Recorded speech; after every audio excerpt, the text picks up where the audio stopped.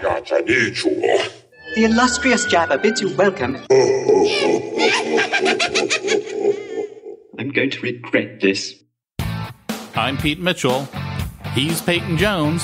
And this is the Church Planter Podcast, brought to you by Church Planter Magazine.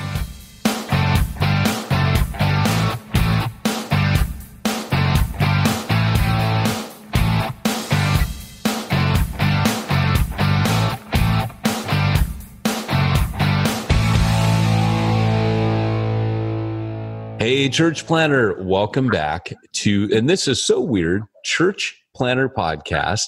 So weird because I don't normally kick us off. My partner in crime, my co host, uh, the better looking one of the two of us, is not here today. He is actually on uh, vacation. Um, he shouldn't have a vacation. I don't think he earned it. I don't think we should let him go on one but that's where he is today. And so I'm here holding down the shop. And uh, of course, when Pete Mitchell's not here, we have to get an equally great man on. And so we're continuing this series today about people I respect and I've learned a lot from. And that is Ralph Moore, who is on the show today. Ralph, welcome onto the show. Thanks, man. It's good to be here. Well, Ralph, you know, uh, you're kind of like a guy that doesn't need a lot of introduction. I mean, you have uh, written multiple books. One of them I'm holding in my hand, uh, Starting a New Church. You have written a ton of others. You are on the Exponential team now that it's public uh, and out of the bag, that I also am coming on to the Exponential team. We're partners in crime in that way, and we become good friends, Andrea and Ruby and us. And uh, but you're also somebody that I greatly respect. A little bit of background about Ralph, and he hates this, but I'm going to do it anyways. Um, Ralph was the founder of Hope Chapel. Um, he was up in Hermosa Beach. He has spanned a ministry uh, over the course of 50 years, uh, about five decades, um, Hawaii, um, up up north uh, in um, oh, why am I not uh, where the Lost Boys took place? Why am I blanking out on that, Ralph? I was in the San Fernando Valley for a while and in, in uh, Hermosa Beach for like 12 years. And then Hawaii. Yeah, 35. Yeah, wow. So, you know, it, it's amazing. And you're now back. You're you're an SD in my neck of the woods. And uh, but you, you know, over the years, I mean, uh, you have just discipled a massive number of people, which I think right now, when Exponential was looking for uh, a level five multiplier, they thought they'd come up with you know scores of them, and it turns out when it came back, they they they, they were basically like, look, after exhausting our extensive network, we have come back with we found one, and it's Ralph Moore, and uh, you know, and, and level five multiplier, by the way, for the audience is when you have reproduced to the fourth generation. So you have planted churches that have planted churches that have planted churches that have planted churches. And you're in the fourth generation. That's the definition. Well, for you, it wasn't just, you know, we've we've planted churches like that. It was it came back that it was 20 am, am I right on this? The number was it 2700? No, it was 20 when we did the study, which was all it was was I, I got a hold of everybody that was a Hope Chapel person. In you know, they don't all use the name, but they came from us in my contact list, and I just started following it out as far as it would go, and it came out to 2,317. And then by the time I got to the exponential deal a few days later, or a few weeks later, it was 2,322 but we're, that was like four or five years ago. We're still finding churches that we didn't know existed. So uh, we know it's over 2,400, but but uh, you know, like I was in Japan last year and discovered seven churches that I had no knowledge of uh, in three different cities. I mean, coming from three different cities. I there are, I mean, a couple more in the United States, one's in the Philippines, but like one came out of Naha, Okinawa, and two out of you know, it's just it, it just keeps going. Once once the ball gets rolling, I have nothing to do with it hmm. other than you know I write a little blog, do a podcast, try to keep the fires burning. But you know, it's the Holy Spirit. It's not it's not really a work of man once it gets going. Yeah, I love that, Ralph, and I love that you know that's kind of your heart and you know really i would expect nothing nothing less than that right that um, you don't look back and pat yourself on the back and go yeah yay me right but uh, yeah. But you know you you and ruby have you're quite a team she's your partner in crime i i always like to to to quote um, uh, Fred and Ginger, uh, Fred Astaire and Ginger Rogers, who were dance partners. That's what it feels like in ministry a lot. Is is your wife doesn't often you know get the credit for being a part of that journey with you all those years but uh, ginger rogers once said you know just remember everything fred did i did backwards and then high heels. And so um, the, the, the two of you over you know the, all these decades i mean the, the amount of times you've opened your homes and you know just let out together and took those risks together.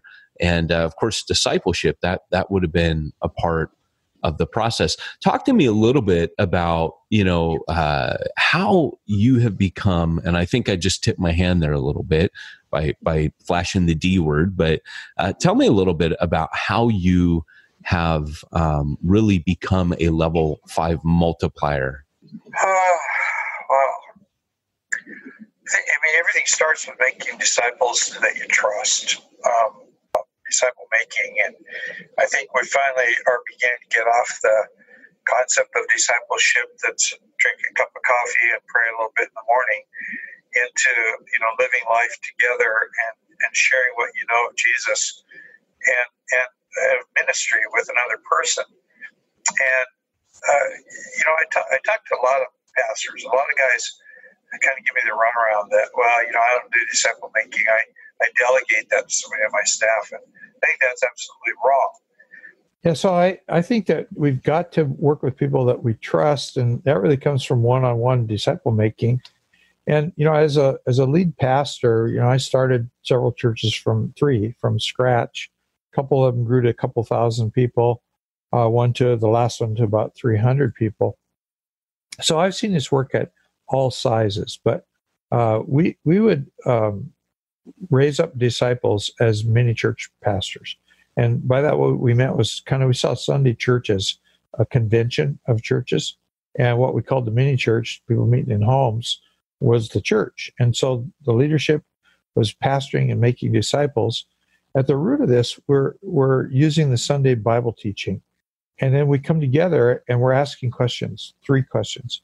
Uh, what did the Holy Spirit say to you while the pastor was talking? Which might be a little different than what the pastor said. Uh, what are you going to do about it? Which suddenly you're putting your life on the line instead of it being an intellectual discussion. We're talking about interacting with the Spirit and now with your friends because you're confessing, I'm going to do this. And then how can we help you? Which kind of brings spiritual gifts into it. So I'm discipling a guy and I, I watch him disciple others to the point where he's raising up his own disciples to take his place and go start something as he starts something new. I watch a guy do it two or three times. There's a high level of trust. Uh, I, I, know this person. I've assessed this person. Uh, I, I'm I'm personal with him because at the same time we're doing this, um, we we would organize our church to where we had groups of mini church pastors, and each staff member who's also leading the mini church is also leading one of those groups, and I'm discipling the staff. So we, we, we got this thing going where from different angles we're pretty tight with each other relationally. So by the time a guy can start three or four mini churches, we start looking at him as a potential church planter. And you know, once you know we we light the fire and and get the talk going and spend a lot of time together, I would actually spend whoever was going to go out the door to plant a church, no matter where they originated or grew in the disciple making chain.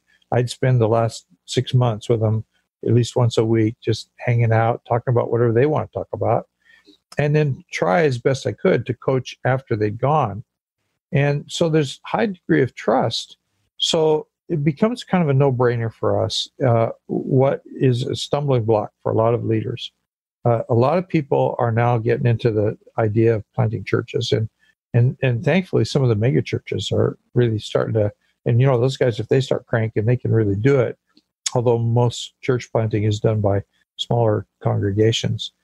But um, the, the, the stumbling block is that we get beyond that first generation. Most people are worrying about branding. They're worrying about what they would call quality control. In some cases, they're worrying about the Sunday service looking like perfection. I don't really care about any of that. You know, our guys Yeah. call the church whatever they want to call it. Yeah. Yeah. You know, we just don't, we're not into branding, we're not into perfection. So if I believe in the character of a man, then why would it be wrong in my sight for him to go launch another church that maybe looks a little different than him and certainly different than me? And then to move that on out, you know, we know one place where it goes nine generations deep. And that's really where the gold is, where, you know, people are free to do whatever they want to do. Control and trust. Yeah, control is the number one thing that actually kills a church, a church plant. You know, you if you're empowering and enabling, you know, then then it's you know it's freeing, and like you said, there's the absolute freedom. But uh, I'll tell uh, sending churches, you know, you have to realize that the worst thing you can do for this church planter is attempt to control uh, what, what's happening because, like you said, you're worried about the branding, you're worried about quality control, you're worried about now let them go. Just Yeah. l- let the planter go. Um, so, just for a, a little bit of a definition of terms, when you say that once they've multiplied the mini churches, a few of those, that you look at them as a planter, some people would say, "Oh, isn't that the same thing?" But I think what you're saying is, um, when you were the pastor at Hope, you were saying, no, now I want you to set out somewhere and start a bunch of mini churches that cluster together. Is that is that what you're saying there? Oh yeah, yeah, and you know, and today we're we're using this term microchurch, which is beginning to to to take some you know hold in America. I think we're we're looking at some financial crisis that's coming toward the church. Seventy percent of all giving is by people who are now over fifty three years old. Uh, we're not going to see church in the future the way we've seen it in the past. Uh, the the whole culture is kind of turned its back on Christianity. We're going to have to be doing micro churches, but I think we're going to still see the kind of hub and spoke thing where somebody goes and and and they get a little you know some ground under them and and there starts to be uh, you know kind of using our model that we used in the past of the mini church but then we expanded it to church plants and um, today we'd instead of be thinking about we're going to send guy out and and try to shoot for 150 people the first week. We're going to probably shoot for 20 25 people. And and the guy keeps his job or his career or whatever. We could plant a lot more churches a lot faster. And we've watched some of those you know smaller church plants turn into a thousand people. Almost anything goes.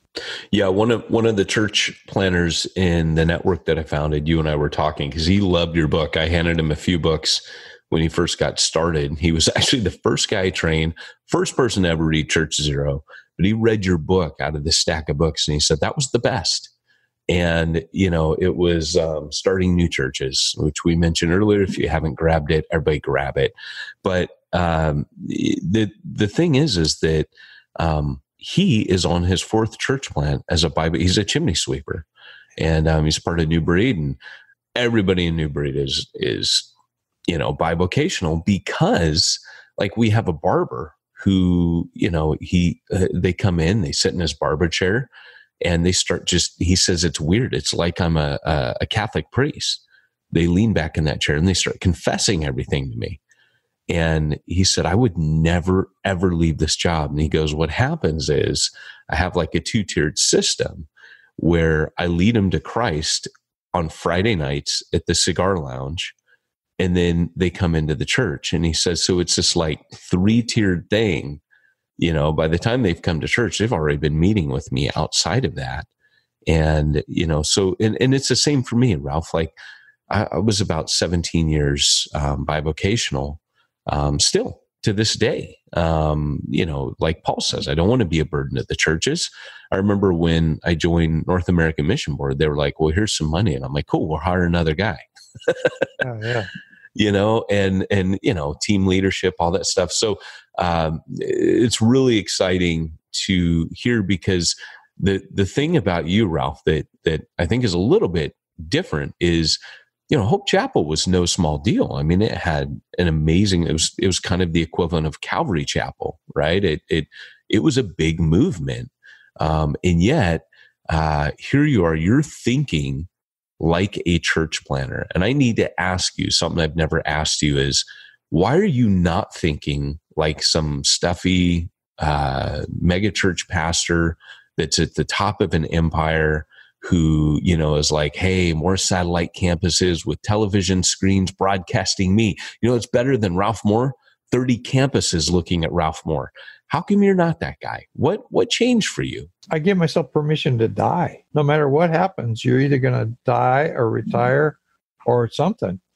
And if if all there is is you, you know, I, I grew up in the I'm pretty old. I grew up in the 1950s and coming out of World War II, there was a a movement toward the gospel in America. 1956 was the was the largest. It was the peak church attendance until the Jesus movement hit in the 1970s. And so church grew like crazy from the 40s till 1956 and then began to shrink. And so by the time I'm in high school, which is in the early 60s, and then when I'm in, in a Bible college, just before the Jesus movement, uh, we're looking at, at, at, at you know, they weren't mega churches, but auditoriums, some of them that would hold a thousand people, because people kind of in those days were into like one service on a weekend. And so they'd underutilize real estate which frustrated me even as a kid. It's like, what's this waste? I don't get this. But um, I'd hear, I'd hear things like this. Some guy dies and the church just shrinks. Mm. And then people say, oh, what a wonderful leader he was because, I mean, nobody could take his place. And I'm thinking, what a failure he was that he mm. didn't hmm. prepare somebody to take his place. And then wow. as a kid, I mean, I was 19 years old and I had there was no books ever at that point on church planting or church multiplication. Uh, we we were beginning to see the charismatic movement generate some megachurches, and then the Jesus movement came along, and Calvary Chapel came out, and the Vineyard, and we were kind of like the little kids in the Jesus movement. The the real growth of Hope Chapel happened after that movement was over. But as a 19 year old, I was working in a church in Oregon, just volunteering. I I had a, a job sanding bowling alleys and it was paying for my college education. And so I was uh, in, in the church yard. We got in a new property. It was a brand new church. I went there uh, when when a guy took over a dead church, basically with 27 people, and and I stayed with him one summer. And I remember the the two digits reversed. My last Sunday there, there were 72 people, and that went on to be a church of about 9,000. It's called East Hill Church in Gresham, Oregon. Hmm. But I was there in the beginning and I'm pulling weeds in the yard and I go to college in California, but I enjoy the Oregon coast. I grew up there. And so I'm thinking over my lifetime, here's my, my plan. Either I'm going to move, I'm going to start five to seven churches. And the, the deal will be I'll, I'll go to a place, I'll start a church, I'll, I'll disciple some young kid, I'll send him to a Bible college, he'll graduate, he'll come back, he'll take over the church, and I'll move up the road to the next place. And so I had this, you know, I'm I'm I'm a kid. I'm 19 years old. I'm not. I haven't thought a whole lot of things out, but hmm. I'm kind of planning and not thinking about the money or or where's that coming from or or, or the possibility of being bivocational.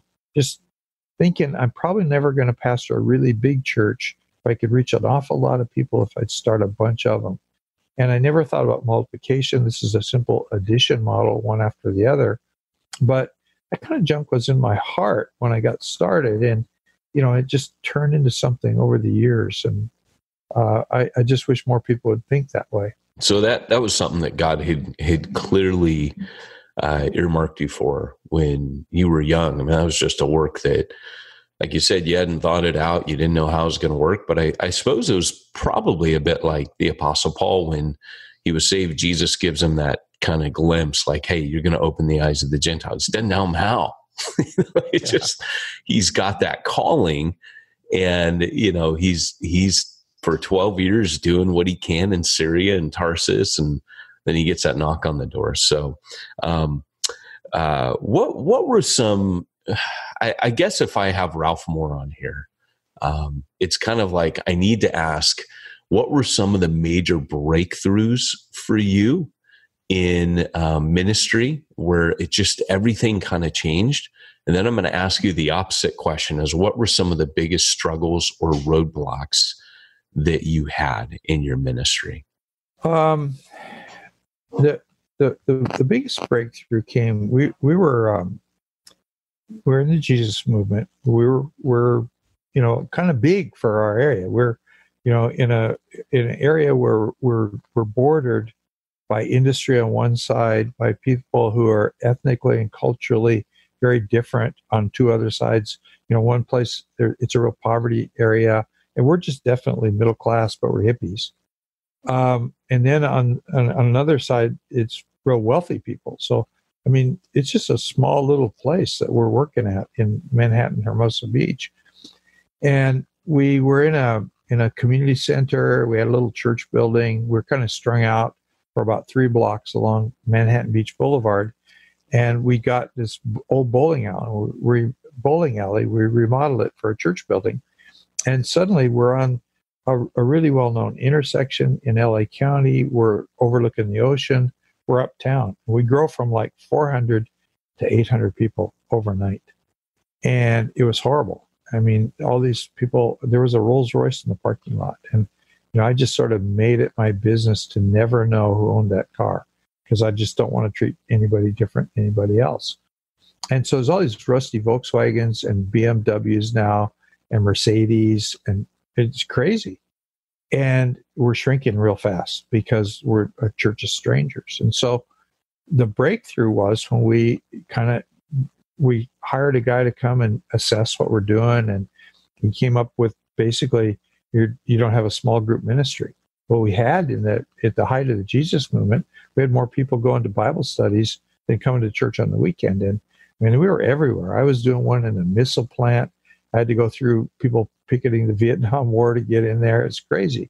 But all that had all died with the kind of the passing of the Jesus movement. And now uh, we invented this thing where we'll get together and we'll talk about the pastor's message. And at first it was very clumsy. It was very intellectual, and we soon moved away from that. Uh, but we we were we had pent up need. Uh, we had a, a midweek prayer meeting where we'd have about 80, 85 people show up. The first week we did the things in homes. Uh, we threw away the prayer meeting. We had 365 people come, and we tried to fit them into seven houses. By the way, that was a bit of a problem.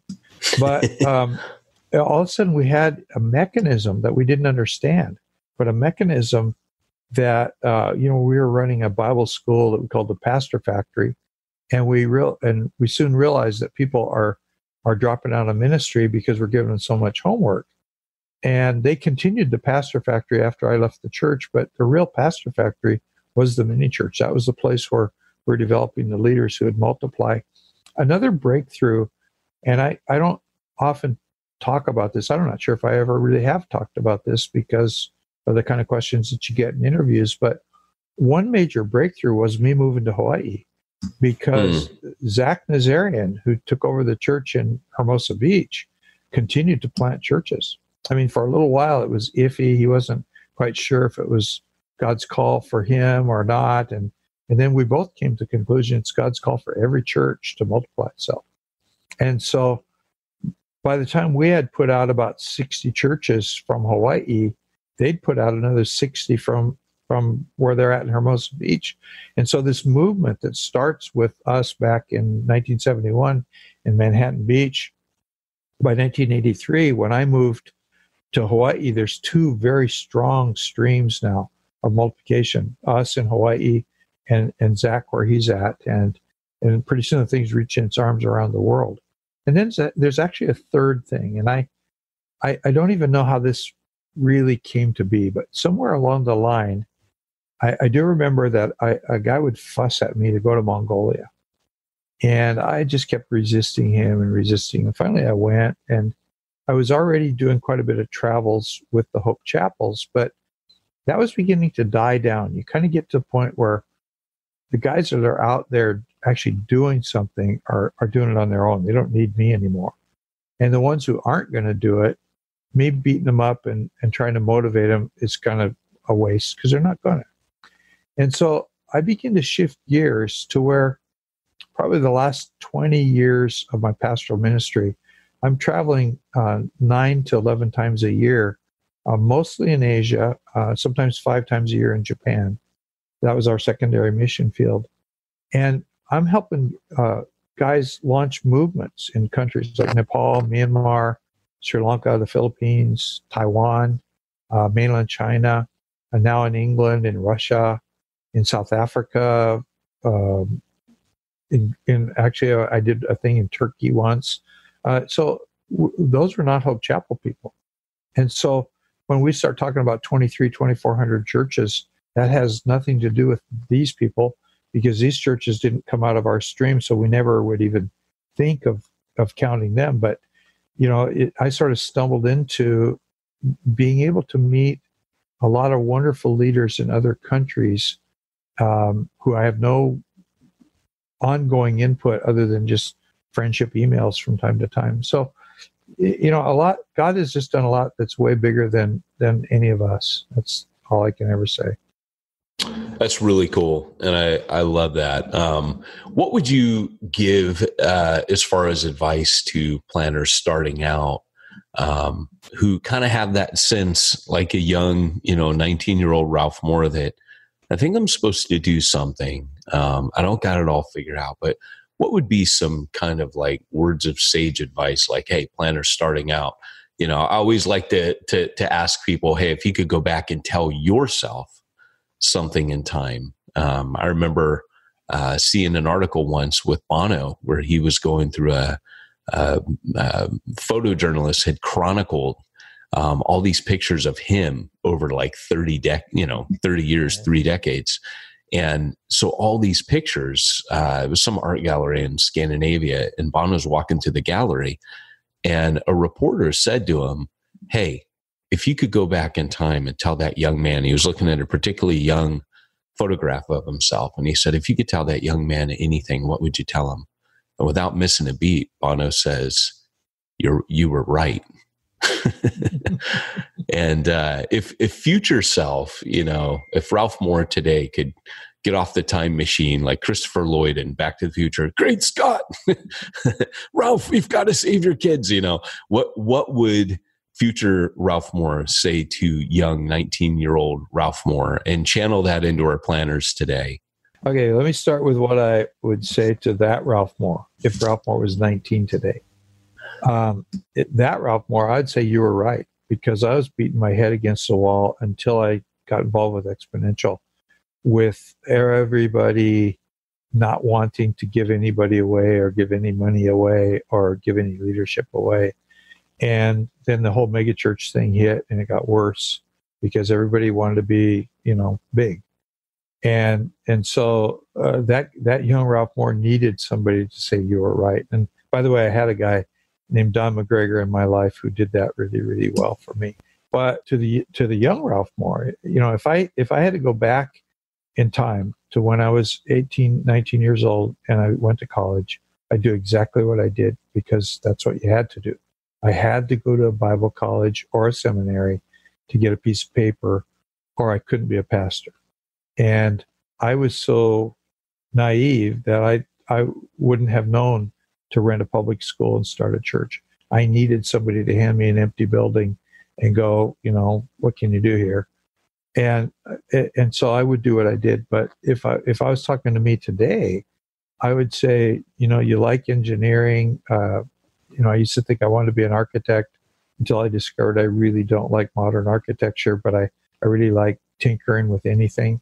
I'd go become an engineer. I'd I'd do what John Wesley said. I'd earn all, earn all you can, save all you can, give all you can, and I would I'd be able to be that person I thought of when I was 19 because I think there's always a mistake made with my life and the denomination I was in.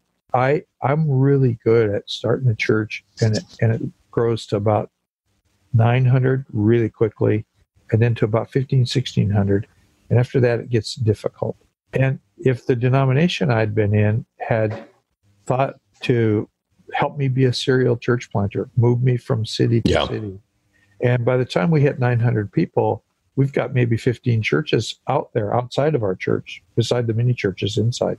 And if I yeah. could have done that hub and spoke thing in five cities in my lifetime, that would have been really wonderful as a vocational planter. But if I did it the way I'm thinking now, where I would be bivo, I'd be free to do anything. right uh, and that that that's the key isn't it you know bivo and team that's that's your freedom and your capacity and uh you know it's it's just amazing to me to to kind of see and hear from someone who's been kind of you know used in the in, in the capacity that have been used um but but really still on the cutting edge and um you know that's not even the cutting edge, but even ahead of the curve, really, on where things are going. I believe that you know decades from now, Ralph, this is this will be the norm. What we're talking about, what actually there will be a return back to the first century style Christianity. But yeah. starting on a you know going going you know I guess dialing down um, really to to brass tacks and grassroots here you um, you're a discipler. I mean, I remember, you know, just very humbly you saying it at one point in a meeting that I was in where you were speaking, and you said, you know, it's it's really not rocket science. I disciple three people at a time. I've done that for 50 years, um, and that really uh, captured um, my attention and captivated a thought in my heart of, wow, that's all I did for the next you know few decades that that, that I have left. yeah. I mean, I'm stupid. Look at me. My my my face is all scarred up. I may not have that long, um, but say I die of natural causes, that would be a really good um, thing to focus on. And of course, the proofs in the pudding. The, the the cause was discipleship. The effect is level five multiplication. Um, tell us a little bit. What does that look like? What is your discipleship process? If I were to be discipled by Ralph Moore, um, what would that look like? Okay, for starters, um, it would be really good for whoever's listening to this, if because there's a very long answer to that question, hmm. and, and it's a. I wrote a book called "Let Go of the Ring," which is you know my dentist when I told him I was leaving the big church in California, go to Hawaii. He he goes, "You'll never do it. The big boys never leave a big church," and I did. So I wrote a book uh, a, for for that church, really its own history. But then I've added to it. It's in its sixth edition, so it's really the whole Hope Chapel story, and it's available on Amazon. And it's the signature book of my life, and it's got weird hippie pictures in it. But um, uh, to me, it's it's always been about, well, or at least since 1978, maybe, about what's the Spirit saying to you. What are you going to do about it? And how can I help you? And those three questions, I've got guys all around the world now using those questions in disciple making. And so, repeat those for us real quick, Ralph, just in case someone missed them. What's the Holy Spirit saying to you? What are you going to do because of what the Spirit said? And how can I help you? Individually, you can see how that plays out. In a group, it plays out in that we've looked at some content in, in the mini church in our churches the content was a sermon. In the leadership circles, and we they were very well defined. The content was a book that I would choose, and then I also always had what I call my three, but I actually let it grow to seven. Uh, I, I, I would just call it my Saturday morning fanatics. I'd meet with seven guys, or never never more than seven, and we'd read a book together, and we'd ask those three questions. So in the in the mini church, based on what the weekend teaching was, uh, in the staff meeting and in the ensuing leaders meetings based on a book I got all of them reading. And then with my Saturday morning guys, another book, usually a little deeper book. Um, the, the, very very simple thing, but it's it's totally reproducible and scalable. You know, you you could do this in a really tiny church, and you'll start to see growth. You you get people in small groups talking about, I'm going to actually do what the Holy Spirit's saying to me to do, they become accountable to each other and stuff happens. Ministry stuff happens but life stuff happens. It's and that's very simple but that's what i do. I love it. That that's actually super exciting to me. And i mean i've i've actually heard you say this before but as you were saying it today um, my mind went back to where jesus you know I, I i just as you said it my mind went back to the early church and i'm thinking because I know Wesley had the experience meetings that were very similar. I don't think they quite asked those same questions, but I think there was some some uh, common themes in there of of what you're saying. But I could just see them in the early church asking those very questions, and then my mind went to, well, have I seen these questions? And um, in Revelation, where Jesus is speaking to the churches, and in each one it says, "Let he who has ears to hear." hear what the spirit is saying to the churches. And and uh, i i love that. That's just um that's just that's kind of been an aha moment for me just now. You could just you can just picture them you know and then the what are you going to do about it? Well you know jesus has practical instructions for each one of those churches. This is what i'm saying. This is what you need to do about it and uh yeah and then how can i help you i i, I just love that it's really cool. So, um, Ralph, what right now are you the most excited about? Because um, I see you traveling all over. I see you leading cohorts. I see you writing. I see you uh, still going to Japan. And, um, you know, uh, w- w- what's exciting you right now? Well, I'm really excited about Japan for one thing. Japan's been a real slow thing. And when we when we first went there, you know, they said that three percent of the people went to church, and I've been going to Japan since about 1985, and we're down to less than one percent go to church, but three percent call themselves Christians, which is a real interesting thing. And but we're seeing churches that we plant grow. And the uh, exciting thing is, last year we did what we called a mini exponential. We actually used the the Becoming Five material and and Dave Ferguson's book Hero Maker, and that's really caught on in Japan. And you know, in the Hope Chapels, we'll get together and on a Saturday morning and do a little one day seminar, and about 50 people in the Tokyo area will come. In the Kansai area, the Osaka, Kobe area, it's a little smaller. So last year we did a thing in Tokyo, and we went to the to the non Hope Chapel affiliated churches, and you know, our guys are going in the beginning. They're going. I go, how many are going to come? And they go, well, we're shooting for thirty. And I go, whoa, whoa, whoa. we we do our own thing. We get fifty. So let's just shoot for hundred. Oh, and so they start praying for hundred. 104 registered, but 155 showed up, and so we're pretty thrilled about that. And it, the way it worked was, the first day there were about 100, and the second day all these young guys come and they snuck in it was really cool. They didn't pay. They snuck past the registration table, almost all of them, but they were there, and uh, it apparently had had gathered enough word of mouth that uh, in one day that we grew by 50%. That was huge. And in Japan, anything is huge, kind of.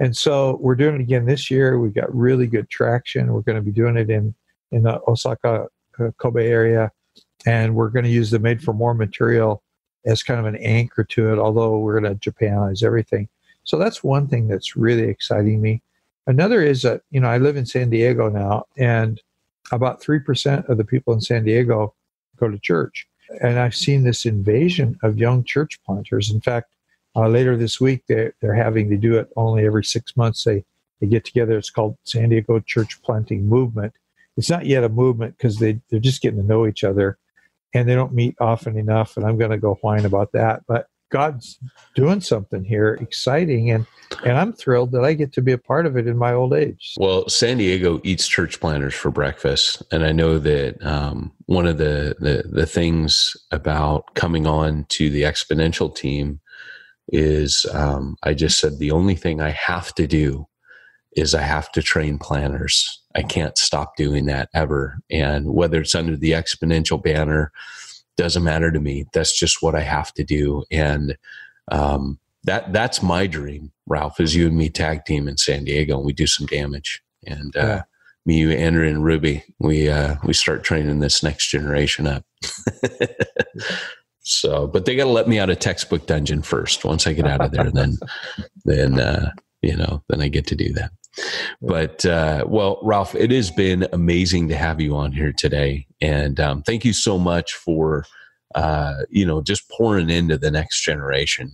Um, you know, uh, we we need we really need to sit and have you on for hours and uh, not just this has not been enough time but um, if people want to get uh, in touch with you. I know they can go to ralphmoore.net if you guys aren't on ralph's mailing list definitely make sure you get on there. Um, ralph blogs regularly. His blogs are cool. They're exciting. They're every bit of what you've gotten on here.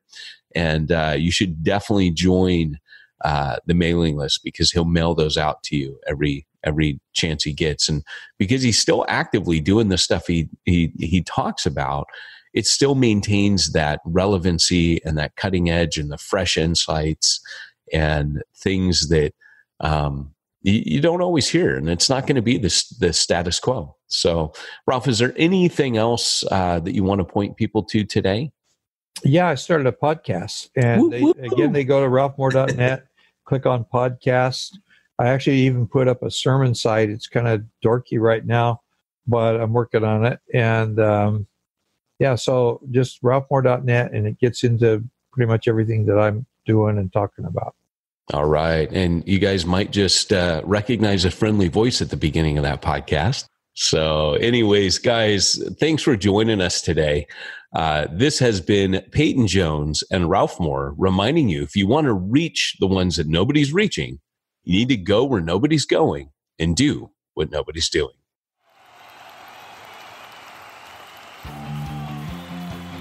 Thanks for joining us for another weekly episode of the Church Planter Podcast with Pete Mitchell and Peyton Jones.